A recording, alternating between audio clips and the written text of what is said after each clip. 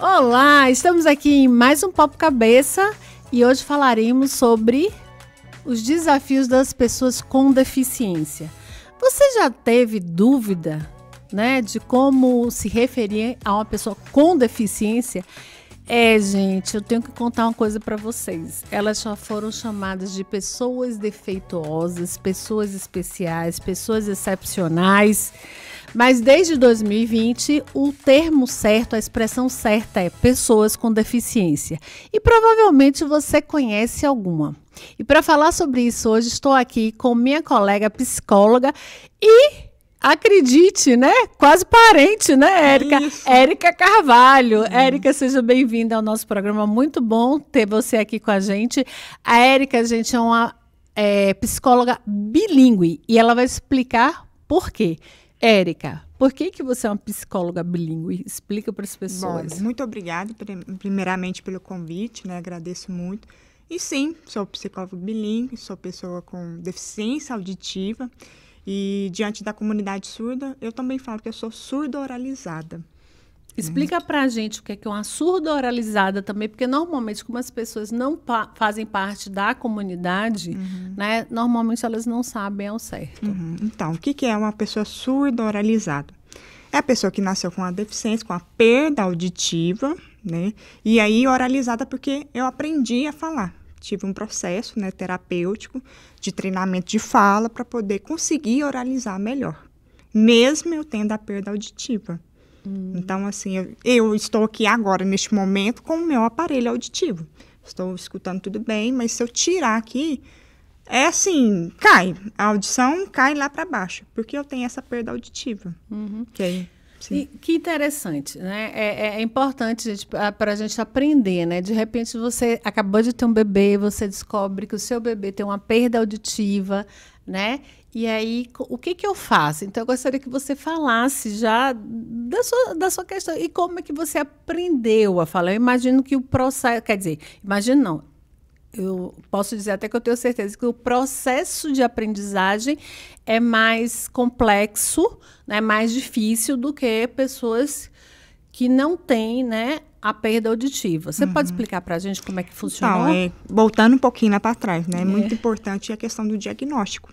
Né? O primeiro passo é esse. Então, o meu diagnóstico foi aos quatro anos de idade.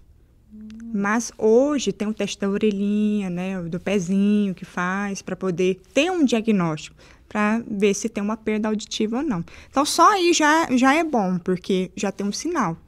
Porque aí dá para ter um preparo, preparar os pais, preparar a família, porque antes de ter um filho tem aquela concepção, aquele sonho, né? Nossa, meu filho, minha filha, né? Tem tudo aquilo, essa preparação. Então, quando os pais recebem um diagnóstico, né? Nossa, meu filho é surdo. E agora? O que, que eu faço diante disso? Então, primeiro é o diagnóstico e ver também a questão do grau. Se é uma perda profunda, se é uma perda leve, se é moderado, se é severo, porque tem os quatro níveis, né? Uhum leve, moderado, severo e profundo. Então, assim, diante disso, aí depois faz um processo com os pais. Não, pai, mãe, a perda do seu filho é tal. Qual que é o tipo de tratamento? Ah, pode fazer um implante coclear? Pode colocar um aparelho auditivo, né, para que a criança tenha uma qualidade de vida e possa ouvir. Porque o que, que é o aparelho auditivo? Ele é uma amplificação de som. Então, eu estou aqui, eu estou né, tendo todos os sons em volta. Estou tendo essa percepção. Então, quando eu tiro, eu não tenho mais essa percepção. Reduz. Então, como que é isso diante do processo de crescimento, de aprendizagem? Tudo isso é um processo. Né? É importante a questão do psicólogo, a importância de um fono, de um é, psicopedagogo, para poder um trabalho mesmo multiprofissional né? uhum. para poder a criança se, se desenvolver. Porque o que, que acontece a criança que tem a perda auditiva? É a perda é ali no ouvido, mas o processo cognitivo está tudo ok. Então é não pode pegar né? uma coisa e anular a outra. Uhum. E aí é interessante, né, Érica? Outra coisa que é muito importante também, gente, eu estou aqui falando, eh, normalmente eu sou mais acelerada, é a leitura labial, né? A gente não pode falar muito rápido, a gente tem que ter alguns cuidados. A gente está falando aqui é, especificamente neste momento, né, de pessoas com perda auditiva. E aí eu queria falar sobre os níveis, né? Então, se eu tiver uma perda auditiva é, branda, moderado, até, até quando, é, qual nível, né, vamos dizer assim, é, até que nível as pessoas conseguem ouvir uhum. alguma coisa com o aparelho? Uhum. Eu acredito que assim, até no nível severo. Até no severo? Até no severo, dependendo, porque de acordo com a perda, vai tendo um alcance de som. Ah, eu alcanço o quê? É o grave, é o fino, é a ah. voz, é o barulho. O que, que a pessoa consegue né, alcançar ali, ter esse alcance? E isso só é possível ver no quê? Numa audiometria. Um teste com fonoaudiólogo, tá, gente? É o especialista que cuida do ouvidinho da gente, tá? Os fonos aí, ó, minha amiga Lucila, que é fono, uma grande fonoaudióloga aqui da região, tá? É que trabalho importante, né? Tá, então, Sim. com o fono, ele vai identificar qual o seu nível. E o implante coclear, gente, é um implante que você põe dentro do cérebro, tá? Um, Sim, uma cirurgia uma que cirurgia, é feita, né? tá? e é você tem um, um equipamento aqui fora que, que pega, que capta os sinais porque às vezes o problema não é só no ouvido, né? É, é no nervo mesmo do, do ouvido, né? Por isso que tem essa estimulação. Por isso que eu gosto, eu até gostaria de trazer aqui a importância do aparelho. Se a pessoa consegue, tem um alcance, pode utilizar um aparelho auditivo, por que não usar? Porque precisa desse estímulo. Nosso cérebro precisa do estímulo. Entender que tem esse som e estimular. Por isso que na, na velhice, né, as pessoas, ah, não estou ouvindo mais e tal, e a pessoa vai tendo o quê? Demência. Hum, verdade. Aí vem o isolamento, hum. aí vem outros problemas por causa da falta do aparelho. Tá vendo, gente? Então você que já está com um pouquinho de mais idade, cuida aí, tá? Então, não é vergonha usar aparelho, não. Ao contrário, a gente tem que usar justamente para que o cérebro da gente também continue funcionando bem. Né? Olha que interessante. Então, às vezes a gente acha, nossa, a pessoa com deficiência é aquela que às vezes não consegue andar, que não consegue ouvir. Não é só isso, não. A perda auditiva moderada, a perda auditiva leve até, tá? uhum. tá? é uma deficiência. E a gente pode resolver isso com os, o aparelhinho, né? Que hoje cada dia está mais discreto, ou se em casos mais Não, severos. a tecnologia está fantástica, fantástica. É possível conectar no celular, na televisão. É, tem recursos que a pessoa pode ter um microfone, dar para um palestrante e você escuta diretamente. Olha que ah, maravilha. a tecnologia está incrível, incrível. Bom, mas a gente não vai falar só sobre a deficiência auditiva, né? Pessoas com deficiência auditiva. Érica, você como uma pessoa, é, como uma psicóloga, né, estudiosa do comportamento humano, qual é a principal é, dificuldade da pessoa com deficiência? Olha, o primeiro fator é a aceitação na verdade, a não aceitação, né? A pessoa tem isso e é preciso fazer um trabalho com isso, de, de ver que é aquilo, a pessoa é aquilo. Tem a perda auditiva. Eu passei por esse processo, né? Sério? Sim, eu, eu não, me, não me aceitava, eu escondia o meu aparelho, né? Pegava o, o cabelo e escondia assim, né? Na frente dos coleguinhas, quando ia sair tinha vergonha de, às vezes, até conversar com um rapazinho e, e, e ele observar o aparelho, entendeu? Hum. Então, assim, a aceitação é importante para você entender o que, que você é, o que pode ser feito e como você pode se adaptar diante da sua realidade. Que interessante, né? E engraçado que você falou de quando você era é, o coleguinha, né? Uhum. Sofreu muito bullying? Ixi, eu e mais outros colegas, né, assim, que tem a perda auditiva ou que é surdo. O bullying, assim, é porque toda vez que tem algo diferente, você sai do padrão, né, da, da normalidade, né. Então, assim, é, não tem uma boa aceitação. Então, é igual eu já tive colega que tirava meu aparelho. Queria tirar meu aparelho assim, eu tinha que grudar a mão na orelha para poder não tirar. Nossa. Crianças, deixem de maldade, ser feio, bullying, qualquer situação não é legal. Pai, mãe, olha lá se seu filhote não está fazendo bullying, tá? Por favor. E não é só a questão da pessoa com deficiência, a pessoa que é muito gordinha, muito magrinha, muito baixinha, muito altinha. Então, em qualquer situação, o bullying existe e a gente precisa, de verdade, educar os nossos filhos para que eles não pratiquem bullying. Por quê? Porque quem sofre bullying, gente, cria grandes traumas. Mas Nossa, isso a gente vai falar em um outro programa, né? Sim, mas aí você acha que a grande dificuldade é a aceitação própria ou a aceitação do outro? Aceitação própria e também tem uma outra questão, a comunicação. Como que é ali a família diante disso, da sua, né, da sua perda auditiva? Qual, como que é a sua base, como que é o tratamento. Não só perda auditiva, digo qualquer tipo de é, deficiência. Com né, certeza, né, qualquer tipo de deficiência. Como que é ali? E como é que seus pais aceitam isso, né, gente? Porque tem muito da aceitação dos seus pais. Você quer contar um pouquinho da sua história? Porque eu acho que é interessante as pessoas entenderem. Assim, eu conheço a mãe de Érica, tá, gente? Ó, Marilu, um beijo para você. Foi ela que me apresentou a Érica, agradeço imensamente, tá? E aí, o que, que acontece? É, eu sei que ela foi muito guerreira. Né? Tem mulher que não gosta de ser chamada de guerreira, não, mas tem que dizer que foi sim, porque ela correu atrás, ela buscou quando ela identificou, e, e por isso que a, a oralização de Érica é tão boa. Posso uhum, falar assim? Pode, sim. Tá? Então, assim, e, e, como é isso em casa, né? Quando os pais, porque você fala uma coisa interessante, os pais criam expectativa quando seus filhos vão nascer. Quando ele nasce com algum tipo de deficiência, é difícil para os pais também. Sim tá? E aí, como é esse contexto todo? Qual o papel dos pais nessa história? Porque a gente precisa falar sobre isso, gente, porque hoje a gente está falando aqui tá, de deficiência, deve ter muita gente que está pensando assim, ah, a pessoa que não anda, que não ouve, né, que nasceu sem um membro. Mas existem outros tipos de deficiência, como as deficiências invisíveis, né? Vamos sim, chamar assim, né? Sim. E aí as pessoas fazem assim, não, mas não podia ser na minha casa, logo comigo, né? Então, assim, o papel dos pais nesse momento é extremamente importante. Com certeza. O apoio familiar, né? Todo esse trabalho, porque, assim, na minha família, graças a Deus, eu tive um apoio, não, excepcional, né? É, tanto no tratamento quanto na busca de orientação. Ah, como que a gente faz? Aí, tá, e a perda dela? O que, que pode ser feito? Ah, é um aparelho auditivo? Não, então vamos buscar o aparelho auditivo. Ah, é a fono? Precisa de fono? Vamos fazer fono.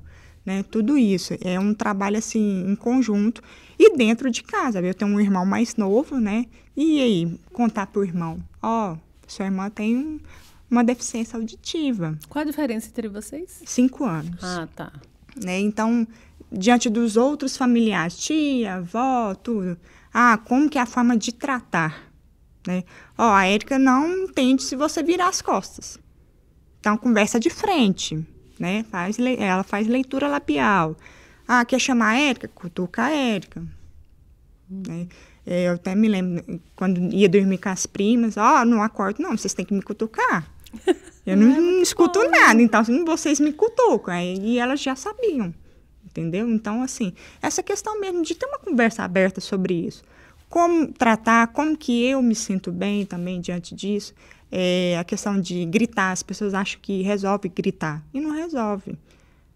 Quantas vezes, às vezes, me senti ofendida, assim, nossa, tá gritando, eu tô entendendo, mas não precisa de, de gritar dessa forma, né?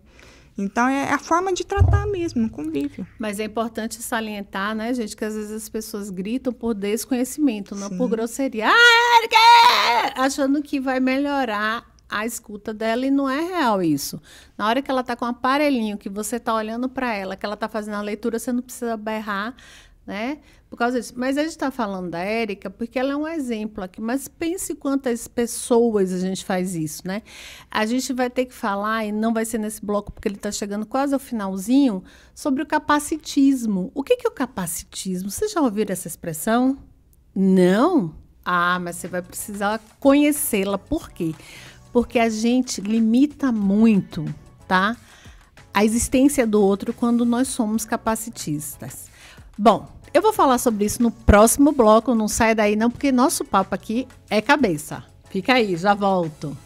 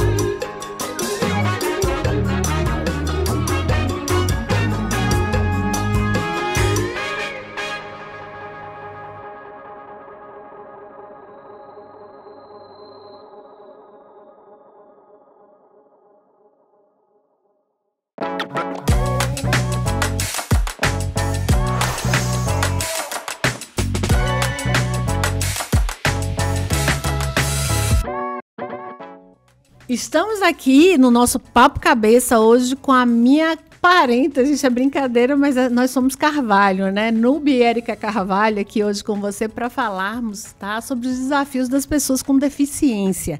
E no bloco anterior nós trouxemos a questão do capacitismo. É uma expressão relativamente nova, não muito utilizada, onde é, o que, que ela traz para a gente? A limitação que nós damos ao outro, tá?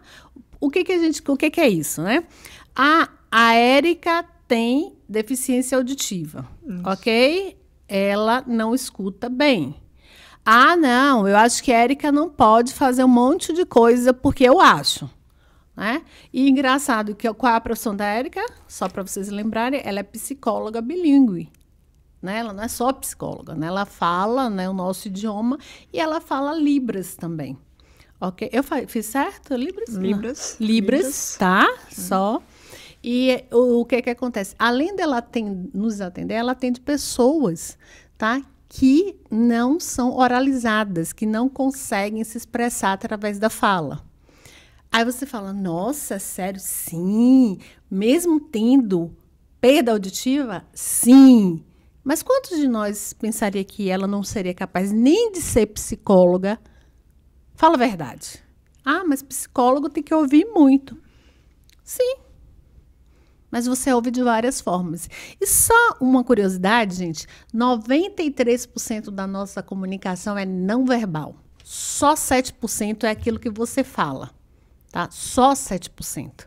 Imagina.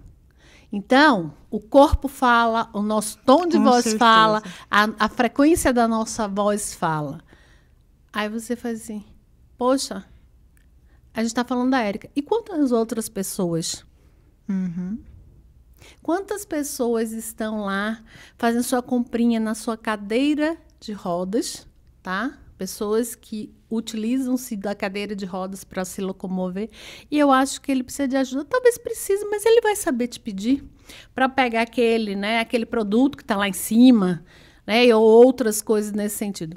E aí, Érica, o que, que a gente faz quando as pessoas são capacitistas, quando elas limitam a pessoa com deficiência? Como é que a gente deve agir? Primeiro, eu acredito muito na educação, né? Educação, para mim, é a base de tudo. Mas o que mais? Porque às vezes as pessoas fazem isso achando que elas estão sendo boazinhas, legais. Educadas. Educados, né? né? Como uhum. é que a uhum. gente faz? Ah, é importante a psicoeducação, né? Conversar sobre isso. Porque, assim, interessante isso que você falou, porque realmente as pessoas veem o outro, ai, tadinho, coitadinho. Aí, aí já tá o X da questão, né? Coitadinho por quê? Quem foi que viu ele como coitadinho? Foi você, né? E assim, por que Isso não? tem mais a ver com você do que com o outro, né? Exatamente, exatamente. Então, ah, eu vou ali ajudar um cadeirante, né? Porque, nossa, não vai conseguir pegar ali. Quem foi que pensou isso primeiro, né? Uhum. Então, assim, por que, que o outro não vai dar conta de fazer tal coisa? Então, primeiramente, a psicoeducação. Primeiro, entender qual é a capacidade, o que, que limita ali no contexto uhum. daquela pessoa, da deficiência da pessoa. Até porque a gente, a gente tem que chamar atenção para uma coisa. Existem deficiências que elas são constantes, né? A, a pessoa nunca vai deixar de ter aquela deficiência.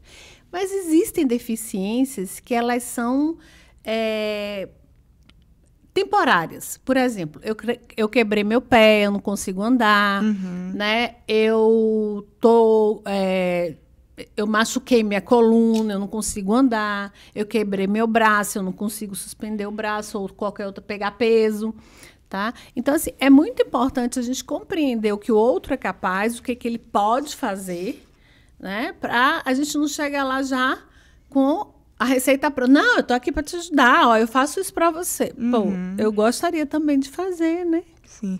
E é, eu tô me recordando aqui, né? Muitos pais de surdos acham que ele é incapaz. E na história mesmo da comunidade surda, teve isso por muitos anos. Então, por isso que tem alguns casos na história da comunidade surda que a criança que era surda ficava amarrada. Amarrada? Era amarrado. Não tinha convivência socialmente. Não, vamos amarrar ele, porque fica gritando demais. Oh. Então, assim, né? É, você dá o outro já como incapaz dessa forma, Quem tem limite é cartão de crédito e território, né, Érica? Eu costumo dizer muito isso. Inclusive, escrevi um artigo para uma revista falando justamente sobre isso. A gente gosta de dar limite ao outro, que é justamente a questão do capacitismo, né? De eu dizer o que, que você é capaz, ao invés de eu te perguntar, Érica, do que, que você é capaz? Né? O que, que você pode fazer? Porque, gente, todos nós temos limitações Exato. né? Todos Exato. nós, não é porque eu não tenho uma deficiência que eu não tenho limitações. Isso não existe. Uhum. Aí é importante que a gente faça essa autorreflexão. Por isso que o autoconhecimento é tão importante, né? Exato. O que que eu também estou me limitando e o que que a minha limitação limita você. né? Eu faço isso, não, eu não, eu não consigo fazer isso. Provavelmente essa pessoa que tem uma deficiência também não consegue. Né? E aí eu quero ressaltar a importância do estímulo. Vocês Sim. viram a Érica falar? Com quatro anos descobriram, né? é, hoje, graças a Deus, existem outros exames. Não é que ela é velha, não, tá, gente? É porque as coisas estão sendo atualizadas, né, Érica? É verdade. Tá? Então, graças a Deus, hoje tem teste da orelhinha, do pezinho, como a Érica falou. E tem como a gente fazer né, um diagnóstico precoce. Então, a gente precisa né, fazer todos os exames, dar todas as vacinas que o SUS dá para gente de graça. né? Então, tem os postinhos aí que também fazem, fazem esses Sim, exames, né? sim. Inclusive Pra que- campanha, né? Isso. Tá sempre tendo campanha aí. Isso. E aí a gente precisa. Eu estou falando da, da questão da de- eh, deficiência auditiva, né? Mas de, de tudo, de tudo. Hoje você consegue descobrir se seu bebê tem um au- autismo muito cedo, né? Você pode começar a estimulação precoce com um psicólogo, com terapeuta ocupacional, com fonoaudiólogo, sempre com a equipe multidisciplinares, é importante. Não adianta você eh, simplesmente desenvolver um aspecto da vida, porque não vai resolver. Ah, não, eu vou oralizar, mas aí ele tem- se ele tem problema motor ou qualquer outra coisa, é importante que a gente também faça. Bom, eu gostaria muito de voltar para a questão da família, a importância Sim. da família nesse processo inteiro e essa aceitação da família, porque a gente conhece. Teve um programa aqui muito legal, né? Se você não assistiu, gente, assista. Eu não lembro o número, mas tá a gente falando sobre autismo. Nós tivemos dois ou três programas seguidos falando sobre autismo. E uma das coisas que a psicóloga que estava aqui eh, falou pra gente, a Anari Crepaldi, uma fofa. Um beijo, Anari, saudade de você. Tem que voltar aqui, tá? É, foi justamente a questão dos pais não aceitarem o diagnóstico. Uhum. né? E aí, eu não aceito, eu deixo para depois. O que, que é importante a gente dizer para esses pais, né? Porque o, o, o fato de eu não aceitar não significa que meu filho não tem aquela questão, né? Não tem que, e que eu não vou ter que encarar algum momento eu vou ter que resolver. O que, que a gente fala É interessante pais? porque isso linka muito com a questão do é a, é a não aceitação com a incapacidade. Porque se eu não aceito, né, fica, fica aquela coisa assim, ai, não aceito. E, e, e o amor ali? E a educação? E o restante, né? Da educação, do, do envolvimento ali mesmo. Onde que fica isso? Eu privo meus filhos de muitas oportunidades Sim. porque eu não aceito, né? Porque aí coloca como incapaz. Ah, não dá conta. E de quem é a incapacidade nessa hora? Exatamente. Por isso que nós estamos aqui, tá? Os psicólogos para ajudar os pais, as famílias, tá? Psicólogo serve para isso, viu, gente? Para vocês conversarem e para a gente trabalhar essa questão da aceitação também. Não estou puxando sardinha para a gente, não, mas é importante. Porque às vezes você fica lá negando, negando, negando. E eu tenho um dado para vocês, eu não vou ser específica nesse dado, mas eu gostaria muito de ressaltar. Muitos pais, os pais, os homens, saem de casa depois que descobrem que os filhos têm algum tipo de deficiência. Olha, Você acredita? chocante. Eu vou tentar descobrir esse dado até o final do programa, mas é, é- é impressionante. As mães, elas abraçam na hora, o pai fica. Ai, Tem certeza? Puxou a quem? É culpa de quem? Né? Tem que ter ocupado para deficiência. Bem assim, por sua culpa. Isso, né? exatamente. E a gente faz assim, gente, não tem culpa às vezes. Às vezes é na hora ali que o bebê tá, tá sendo formado, Sim. combinou o pai com a mãe, não deu certo e Exato. vem, né? Sério, gente, isso pode acontecer. Tem, ou os pais têm genes recessivos, né? Isso aí é, gente, biologia, adorei, genética. Eu amava genética na escola. E aí você tem genes recessivos que estavam lá quietinhos e quando juntou o gene do pai com a mãe, virou dominante e aí a criança vem com algum tipo de deficiência, tá? Então não tem que procurar culpado, não. Pelo amor de Deus, vamos abraçar, vamos amar muito, né? Vamos cuidar, vamos desenvolver. Vamos deixar a culpa, né? É, Pra não lá. vai resolver vamos- nada, né? É, deixa de lado e vamos pra frente. Exatamente, tá? Mas e como é que a gente pega esse pai, essa mãe? Qual a abordagem que a gente tem enquanto psicólogos para a gente trazer essa realidade? É de, de conversar mesmo, de trazer pro real. Né? No sentido, ó, você tem um diagnóstico, certo? E como que vai ser daqui pra frente? Como que vai ser diante da família, os coleguinhas, né? É, por exemplo, no caso de uma criança com surdez profunda, né? Qual vai ser o meio de comunicação? Ah, temos a Libras. Então, ah, onde que eu, onde que eu procuro isso? É numa associação? É com algum professor particular? É com a comunidade surda? Quais os meios, né, que pode procurar para poder... Dá dica aí, quais são os meios, né? Tem comunidade surda? Tem comunidade surda. Na maior assim, é, parte da cidade tem a associação dos surdos. Então ali vai ter surdo de diversidade, diversos surdos, né, tipos. Porque nós temos hoje também é, surdos né, oralizados, igual eu, tenho surdo que só comunica por libras, temos surdo cego, Surdo então aí é um outro tipo de comunicação, uma comunicação que chama tátil, é no, nas costas. Temos surdo com autista, né, que é autista. Temos surdo com algum outro tipo de deficiência em conjunto. Então, na comunidade surda, tem vários tipos de surdo. Ah, tem o surdo com implante coclear, aquele que usa aparelho, aquele que não usa. Então, olha a diversidade. Né? O tanto que é importante também a identificação, pertencer, ver aquela comunidade e pensar, nossa, tem outras pessoas além de mim, né, com uma perda auditiva. Não só perda auditiva, né? Sim, tipo de com qualquer Quando você tipo. vai na ACD, é uma CD, gente. Ó, meu amigo Janier aí. Então, olha só que interessante, né? Faça seu filho entender que ele não é o único, né? Ele é uma pessoa que tá, que pode ser, que deve, na realidade, não pode, ele deve ser inserido, tá num grupo em que ele se sinta pertencente.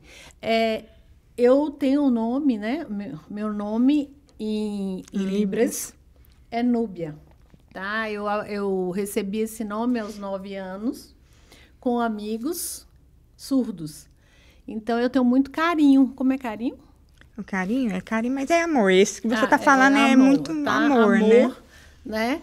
Porque assim, eles foram muito carinhosos comigo, eles, né? Muito amor mesmo, muita amizade, amizade, Amizade. amizade. Tá, eu esqueci muita coisa, tá, gente? Com o tempo a gente vai esquecendo, a gente não usa. Então, assim, é tão importante você conhecer. Então, se seu filho tem algum tipo de deficiência, por favor, não se esqueça de procurar um lugar onde ele encontre pessoas como ele para ele se sentir pertencente. Além, claro, né, de já pertencer à sua família, que vai ser amorosa, que vai ser compreensiva, que vai ser empática, né? Você viu? Aquele assim, ó, É, ah, empática, é, assim. Empática, né? Empatia. Empatia e, e ele vai ter esse grupo que vai abraçar ele, tá? Mas falar em abraço, não sai daí não que a gente já volta. E eu quero seu abraço na volta, tá bom? Um abraço.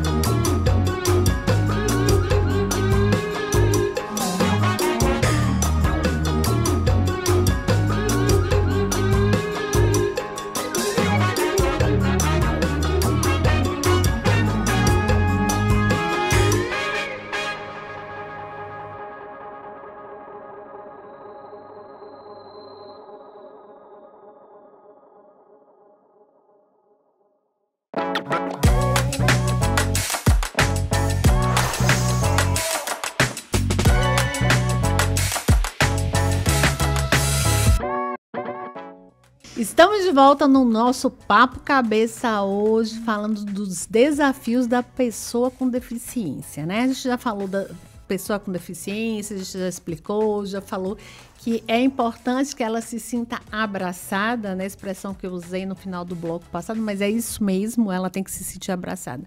Mas, Érica, você como uma pessoa com deficiência, tá?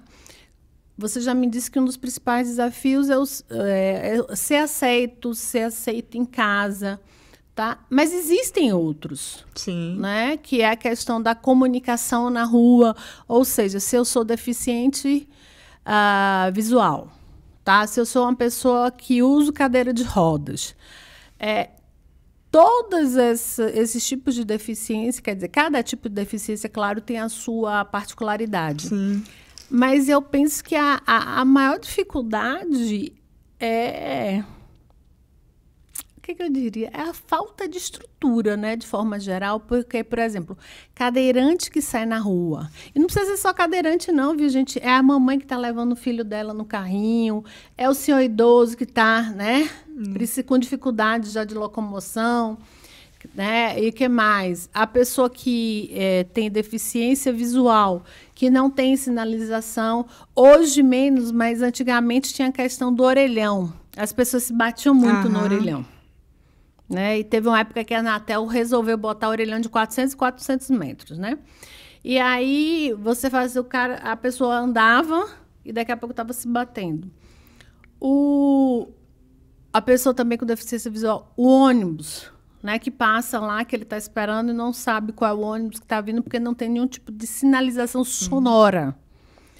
Ah, o surdo, né, que chega num lugar e não tem ninguém que sabe falar a linguagem dele, né? Quando ele não é, quando ele não consegue escutar nada. O que mais a gente pode aqui elencar como dificuldade das pessoas com deficiência? Os direitos seria um problema? Direitos também, né? Essa questão do direito é, na escola, na educação. Hum, escola. Na, na escola, tanto que é importante, né? O envolvimento ali é, explicar que né, o colega tem uma deficiência, então vamos entender de que forma que pode incluir ele. Porque tem essa palavra hoje, né? Uhum. Inclusão, integrar a pessoa ali. E o mercado de trabalho não é fácil, Principalmente não. também. Hoje é porque as empresas são obrigadas o quê? Ter uma certa quantidade de vaga. E se não tivesse essa obrigação? E Será que ia contratar? E mesmo tendo, será que elas fazem a seleção da forma como devem? Gente, é uma boa pergunta, né? É, empresas com mais de 100 pessoas têm que ter pessoas com deficiência, tá? Seja qual for, é, né? A, exatamente. A, a deficiência. É, e aí, como é que é isso? Você trabalhava numa empresa, você uhum. se sentia incluída, aceita ou você era um número lá, sinceramente falando? Eu me senti incluída porque era uma empresa que contratava pessoas com deficiência auditiva. Uhum. Me senti incluída por quê? Porque eu vi que todos os funcionários, cerca de 26 funcionários, todos têm uma deficiência auditiva. Todos? Todos. Que legal. E assim, é, de vários níveis. Ah, só com Libras. Ah, é DA, né? Que a gente fala deficiente auditiva, é que usa o aparelho, que escuta um pouco. E assim, me senti incluída ali porque, nossa, veja só. Um, um, né, um trabalho e todo mundo se comunicando da mesma forma.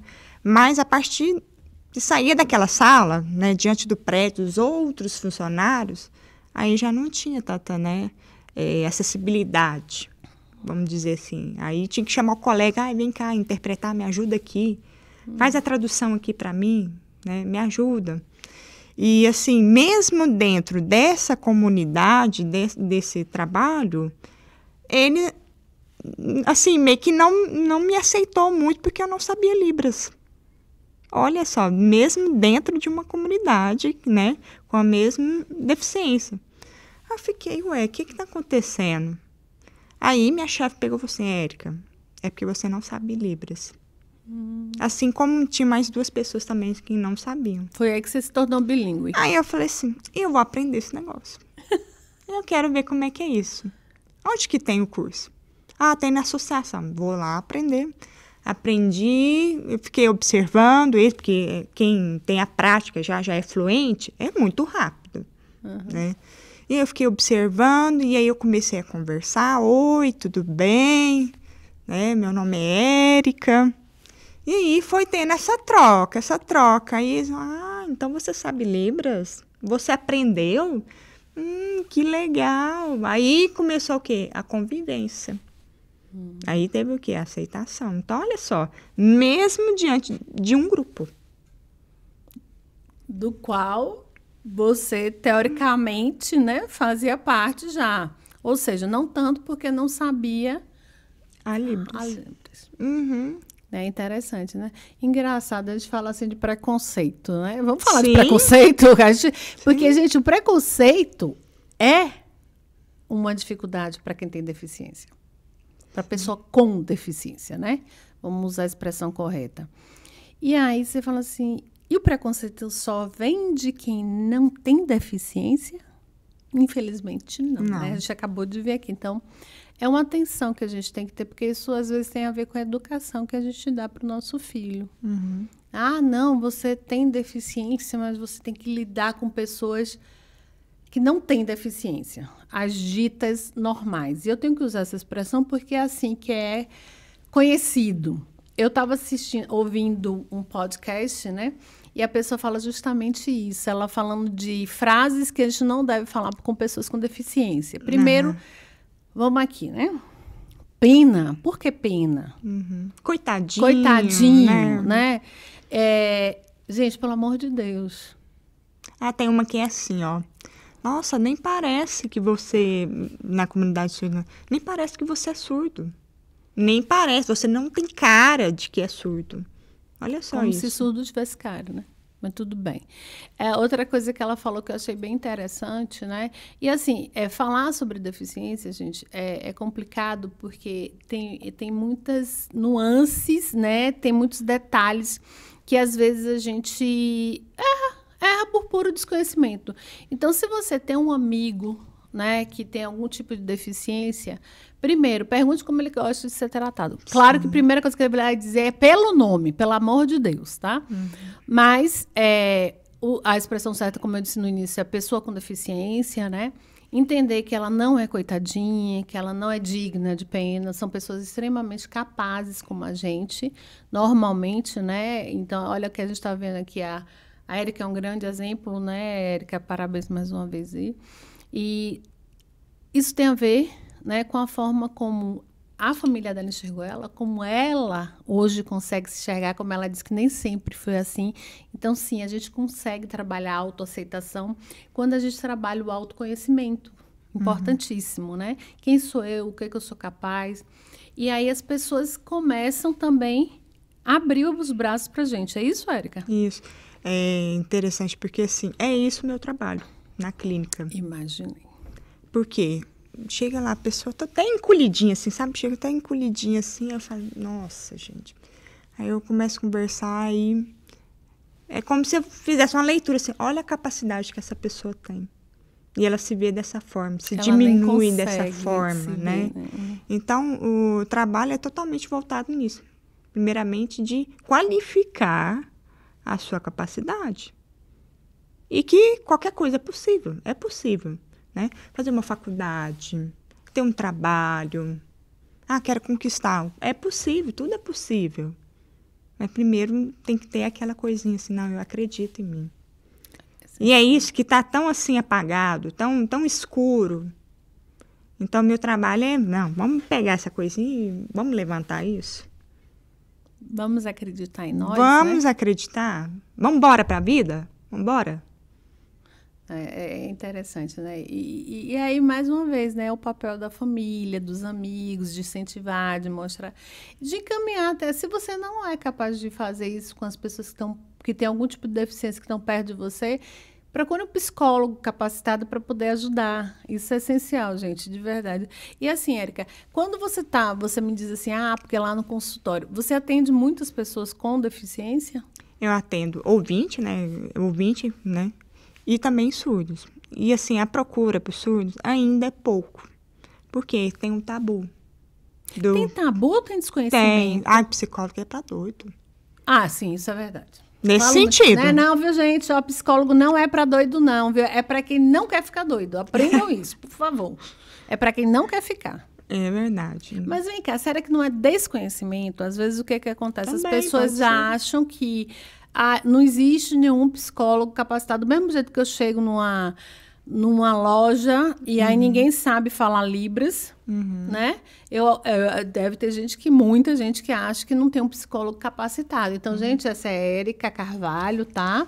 Ela é extremamente capacitada para atender pessoas com perda auditiva, surdas e pode ajudar alguém que você conhece a virar uma linda borboleta, que, como ela disse, tem gente que está lá no casulinho porque simplesmente não aprendeu. E não só surdos, né? Mas uhum. pessoas que, às vezes, têm essa questão da limitação porque acham que não serão capazes de fazer alguma coisa em função da deficiência que elas têm.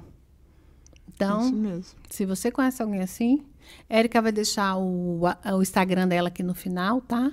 Qualquer coisa, entra lá no papokbk.tvu, manda recado que eu mando o telefone de Érica para vocês entrarem em contato.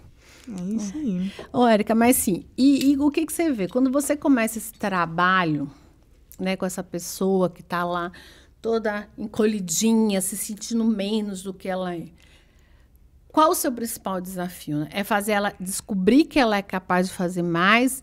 É, é a, pelo menos acessar ela, porque às vezes as pessoas não, se, não são acessíveis, né? Uhum. O primeiro fator é acolher, né? Acolher como que tá a pessoa, no que, que ela acredita, quais são as crenças, né? Porque o que está por trás é isso. Ah, e, e muitas pessoas chegam, ah, eu sou um bosta. Hum. Ah, não sirvo para nada, eu sou inútil. Então, olha só, tanto que isso é pesado. Nossa, eles chegam lá falando então, isso. Então, isso é muito pesado. Então, a, o trabalho é de construir, ter uma construção. Né? Reconstruir, na verdade. Né? Tirar aquilo, né? eu sou isso. Aqui, tudo que é negativo, e passar, vamos inverter isso, vamos colocar no positivo. Então, esse é o trabalho terapêutico. Da, da pessoa se qualificar, ver nesse sentido e ver o que, que ela pode né, melhorar. Gostei de falar de qualificação. Uma coisa que se fala muito quando procuram pessoas né, para trabalhar, pessoas com deficiência para trabalhar, é a falta de qualificação. Uhum. Isso também tem a ver com o fato delas não acreditarem, ou seja, eu não vou fazer, não vou estudar, eu vou desistir. É porque elas não querem ou porque as escolas não são, estão estruturadas para receber essa pessoa? Ah, eu acho que pode ser os dois. E também a questão da habilidade, né? O que, que a pessoa procurou? Para poder ter aquela qualificação? É um curso? É alguma coisa que quis aprender? Então, porque a gente tem isso, né? Tem a bagagem através da experiência, da busca, né, disso e aprimora nesse sentido para poder se qualificar. Qual é o interesse dessa pessoa? É. E a gente tem que descobrir qual é o interesse, porque todos nós. E aí é mais um motivo também para trabalhar né, essa questão terapêutica. Tem, tem pessoas que não sei nem o que, que eu gosto. Tem pessoas que chegam falando isso. Vou perguntar aqui a você, por que psicologia? Olha. Autoconhecimento? porque eu vi em uma revista. Psicologia. Eu falei assim, que isso? Nunca eu tinha né, visto sobre. Falei, vou pesquisar o que, que é isso fui lá no computador assim, ah, psicologia, comportamento humano. Eu falei, nossa, é isso que eu quero ver. Comportamento humano, aprender sobre a vida e tudo. Aí eu falei, é isso que eu quero fazer, psicologia. Quantos anos você tinha quando você descobriu a psicologia? Ah, 17, uhum. por volta de 17. Engraçado. É porque normalmente a psicologia a gente traz para a gente a questão do autoconhecimento, né? Uhum. E o autoconhecimento é fundamental para você saber até onde você pode chegar. Pense nisso, né? Pense que você é muito maior do que o que você pensa. É, infelizmente, nós, fomos, nós somos extremamente limitados durante toda a nossa vida. A realidade é essa. E aí, vou voltar né, a dizer uma coisa que eu disse antes. Quem tem limite, gente, é cartão de crédito e território, tá? Então, não se limite, não diga que você não é capaz, não diga que você é possível, porque assim, você pode muito mais. Érica, a gente já está chegando nos momentos finais e eu queria que você deixasse uma mensagem aqui para as pessoas, tá? É, que têm deficiência, né? Que passam, que, que vivem diariamente o desafio da deficiência uhum. e quem sabe, né? A gente não consegue despertar nelas essa coisa do do virar uma borboleta, da metamorfose, vamos falar assim, uhum. assim, de trans, se transformar e, e, e, sair desse casulo, né, dessa coisa pequenininha, apertadinha que a gente vive porque alguém colocou a gente nesse lugar que não é nosso, com Aham, certeza. Bom, a minha mensagem é não tenha vergonha de procurar um profissional, de procurar ajuda. Porque... E de ser quem você é. Né? Exatamente, exatamente. Porque a gente pode ser muito além do que a gente né, pensa. Então, assim, não tenha vergonha de procurar ajuda. Procure, né, informação, procure a família, procure ajuda, para que você possa se transformar. Érica, quero lhe agradecer muito por ter aceito nosso convite. Obrigada pelo nosso bate-papo, né? Foi tão particular hoje. Por favor, olha naquela câmera ali, deixe seu contato, se coloque aí à disposição para que as pessoas possam procurar vocês, já que você tem tanta bagagem, tanto conhecimento e é uma psicóloga bilíngue que fala Libras, né? Que é, eu acho que é a única que eu conheço. Posso estar enganada, tá, gente? Mas então, meu Instagram é Psiérica Libras, né? Pode me chamar que a gente pode conversar, né? Pode ter uma troca de experiência, projetos, aceito projetos. E é isso, estou disponível. E só tenho a agradecer o convite de hoje. Obrigada, minha linda. E para você que teve, esteve com a gente até agora, tá? E se não assistiu o programa inteiro, nós estamos no YouTube, na TV, no canal da TV Universitária, Papo Cabeça com Nubia Carvalho, no Instagram, papocabeca.tvu. Espero você no próximo. Um forte, carinhoso abraço e fica com Deus, tá? E não se esqueça, não deixe ninguém te diminuir porque você é gigante. Beijo no seu coração e até o próximo.